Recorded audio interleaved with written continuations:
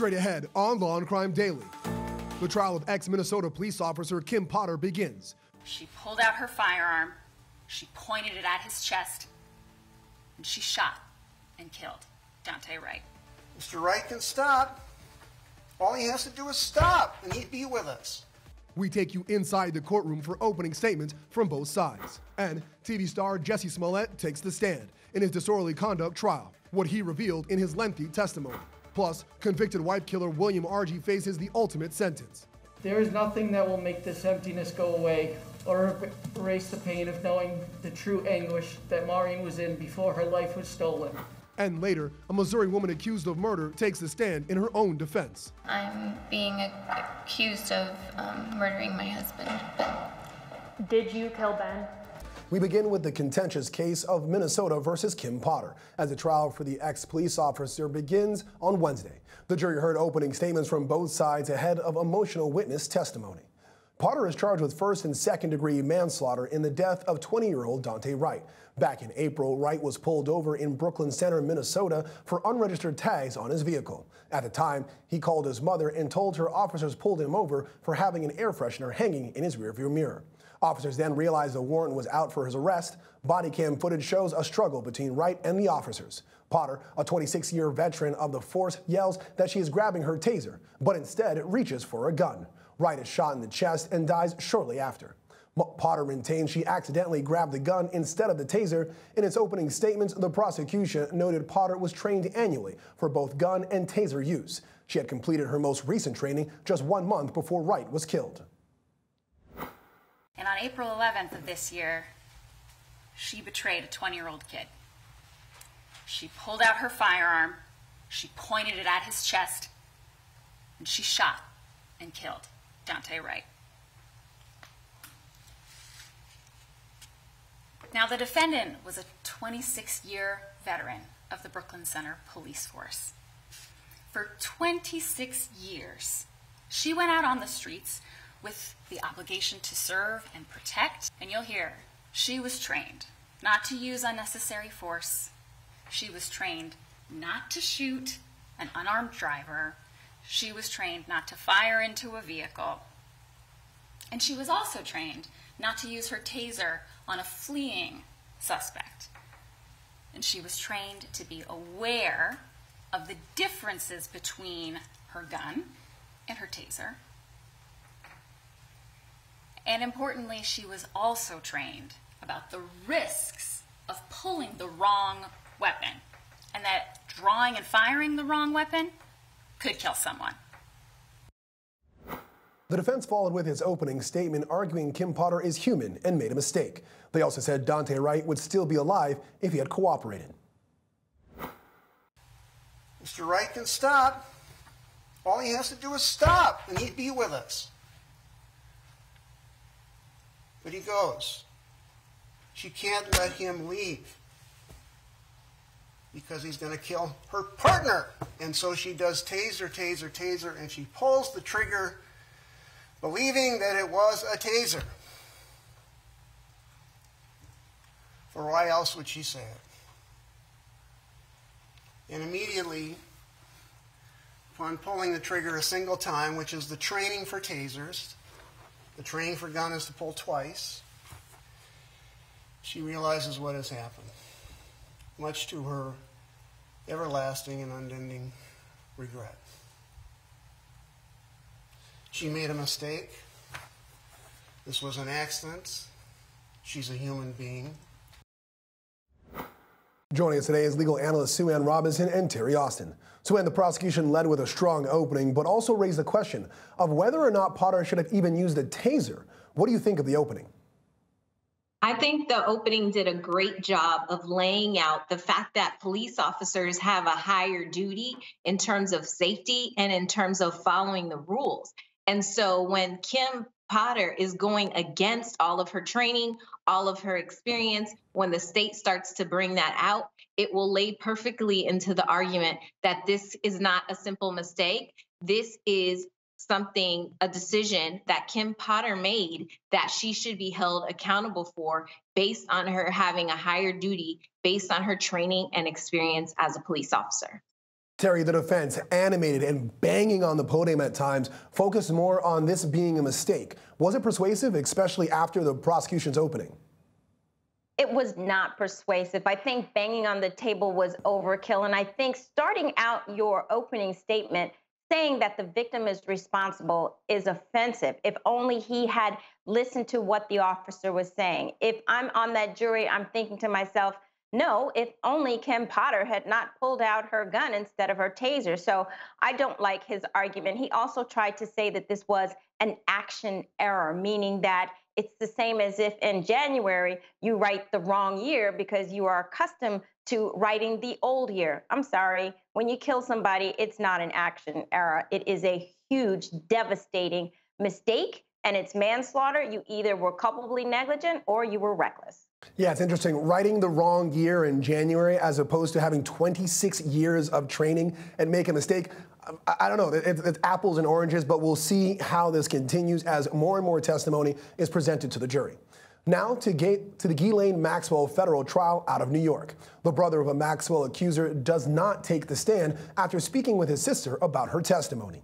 The man, known by the pseudonym Brian, was removed from Wednesday's witness list after speaking with a witness known as Jane one of Maxwell's accusers. Several other witnesses did take the stand, including Jeffrey Epstein's chief pilot, David Rogers, and Sean, the boyfriend of another one of Maxwell's accusers, Carolyn. Sean testified that Carolyn was 14 years old when she worked for Epstein. 59 year old Maxwell faces federal sex trafficking charges for allegedly helping Epstein groom teenage girls for sexual abuse. Epstein, Maxwell's longtime companion, was found dead by suicide after he was charged for similar crimes. Still ahead on Law and Crime Daily, just one day after the jury reaches a verdict, William Argie is sentenced for the murder of his wife. But first, closing arguments begin in the trial of TV actor Jussie Smollett. What the actor said while on the stand after this.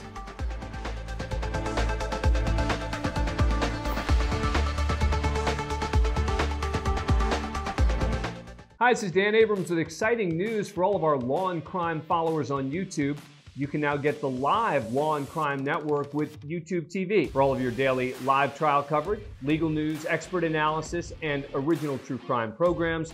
Subscribe to YouTube TV today and then locate Law and Crime in the channel guide.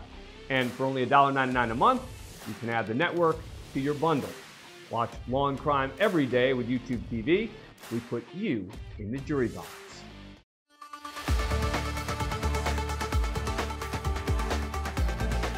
Welcome back in Chicago. Closing arguments begin in actor Jussie Smollett's disorderly conduct trial. This after the defendant takes the stand. The former Empire star is accused of lying to police after he reported two masked men physically and verbally attacked him near his home in 2019. Prosecutors allege Smollett hired two brothers to jump him and leave him with minor injuries for publicity. Smollett denies the attack was a hoax. The actor took the stand on Monday and Tuesday, calling the brothers liars. He testified that he met the alleged attackers on the set of Empire. He also told jurors he had a sexual relationship with one brother that included going to strip clubs and doing drugs together. Last week, the brothers testified neither of them had a relationship with Smollett, but that they were hired to stage the attack. If convicted, Smollett faces up to three years in prison. Let's bring back legal analyst Sue Ann Robinson and Terri Austin to discuss Jussie Smollett on the stand. Terri, it seems like a difficulty of this case for the defense because they actually have to prove a case, not just poke holes in the defenses. Did Smollett do that here? Well, I mean, the prosecution still has the burden of proof. I mean, Smollett certainly has to tell his side of the story. And, you know, he's been charged with six counts of disorderly conduct for filing these false reports. But the prosecution, I think, has really demonstrated that Smollett lied about being attacked. I mean, the testimony of the Osundairo brothers was excellent. And I think that Smollett, uh, Jussie was not able to show that he, you know, was attacked. And, and I think that that is going to go to his credibility. There's no question about it that uh, the Osundairo brothers were better witnesses than he was. Yeah, it's interesting. It's one of those cases of he said, he said, he said, I guess, and it appears that credibility leans more towards the prosecution than the defense. So the prosecution didn't call any rebuttal witnesses after Smollett testified. What does that tell you about how the prosecution thinks their case is going? I think the prosecution thinks their case is going okay. The little string that I got from Jussie Smollett's testimony is the the sexual relationship he had with Ola. And the fact that Ola testified and completely denied that he had a relationship after kind of the premise of the entire their side that they were hired is that they have a relationship. They're just denying Ola is denying the sexual relationship to me. And if I was on jury, I would say, wait a minute, is that a motive for Ola and this brother to attack Jussie Smollett, to want to attack his credibility, to want to, you know, cause harm to him if they indeed were in a relationship and trying to keep it secret and, you know, um, Jussie Smollett wanted to say something or there was some issues. I think the fact that they're directly conflicted head to head on whether or not they had this relationship and Jussie Smollett is so clear as to the details of the relationship and they're completely denying it gives a little string of motive as to why the brothers would be attacking Jussie Smollett if they're trying to keep that relationship or that interaction a secret. Sue Ann, the way you put it makes sense to me. Let's see if the defense uh, can put that together in their closing arguments, because as, we always say, it takes just one juror to have that thought, and maybe that's uh, Jussie Smollett's saving grace in this case. We'll see as this case continues. Coming up on Law and Crime Daily, hear the firsthand testimony of a Missouri woman on trial for the murder of her famed snake breeder husband. Plus, emotional victim impact statements as New Hampshire man William Argie is handed down a hefty sentence. All that and more after the break. Welcome back to Law and Crime Daily. Just one day after a guilty verdict is handed down, William Bill Argie is sentenced to life in prison without parole. After less than three hours of deliberation, a New Hampshire jury found Argie guilty of first degree murder and falsification of evidence. Prosecutors say Argie strangled or suffocated his wife, Maureen, before attempting suicide, throwing out her cell phone, and going to a casino. At the time of his wife's murder, Argie was an, a gambling addict in debt who had just lost his job. He also was a sole beneficiary of his wife's $400,000 life insurance policy. At Argie's sentencing hearing on Tuesday, Maureen's brother gave an emotional victim impact statement.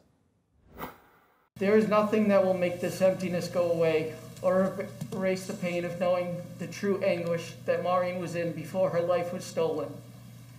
I hope you, as the defendant, as you leave here to spend your remaining years in your hell that you deserve, you also know that someday your children will know the truth about what you did to their mother. You will no longer receive calls from your children or letters from your children. You will never see them on Christmas morning and see the utter joy and delight in their eyes. Instead, you have stolen their innocence. They will not ask about you or talk about you, and you will become a distant memory. You are a selfish, cowardly, pathetic person who deserves to die alone, miserable and locked away for the rest of your life. Legal analyst Sue Ann Robinson and co-host Terri Austin joining us again to break down this verdict and sentence. Terri, after the verdict was read, we all knew the sentence, so why do you think we still do victim impact statements if they won't change the sentence? That's a very good question, Brian, but the purpose of the victim impact statement is to give the family and friends an opportunity to discuss what the loss is to them in their own words. And in this case, we heard from the mother, we heard from the brother, we heard from the sister in law. And to tell you the truth, that was the most impactful statement to me. She talked about the little things like the recipe for apple crisp. And it just makes you feel how much of a loss this is to everyone in that family, not to mention the two children. So it gives them a little bit of closure and an opportunity to say what the loss is. Absolutely. It's a time of catharsis for those victims or those people affected by the death of a loved one. Sue Ann, what was your reaction to the victim impact statements when you first heard them? I think that it's a part of the circle of justice, right? After the conviction is in, the sentencing is in, for the families to do that. I think the victim impact statements also give you a peek into the person who you refer to the entire trial as the decedent, as the victim, and sometimes by their name, obviously, you get a peek into who they were. You get that spark of life, and you get to really understand, like Terri was saying, and like you were saying, who they were and, and what the loss really means to the people who cared the most about them.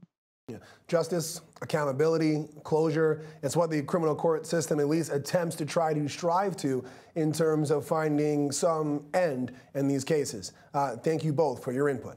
When we come back, Lynlee Renick takes a stand in her own defense as she stands trial for the murder of her husband. Up next, we take you into the Missouri courtroom to hear the testimony firsthand.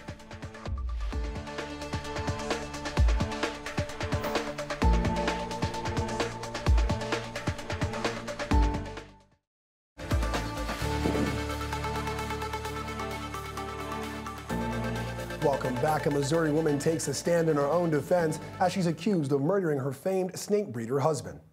31 year old Lynlee Renick testified on Wednesday. She is charged with first degree murder and armed criminal action after her husband, 29 year old Benjamin Renick, was found shot and killed at his reptile shop back in 2017. Prosecutors say Lynlee Renick hatched a plan to kill her husband with her ex boyfriend, Michael Humphrey, and co worker, Ashley Shaw. They say she owned a spa that was losing money and was a sole beneficiary of her husband's $1 million life insurance policy. Years later, Lynlee Renick's other ex boyfriend, Brandon Blackwell, came forward to the police with information about the murder. While on the stand, Renick testified about her multiple affairs, relationship up and downs with her husband, and about the lies she and Ashley told. What should you have told them? Everything.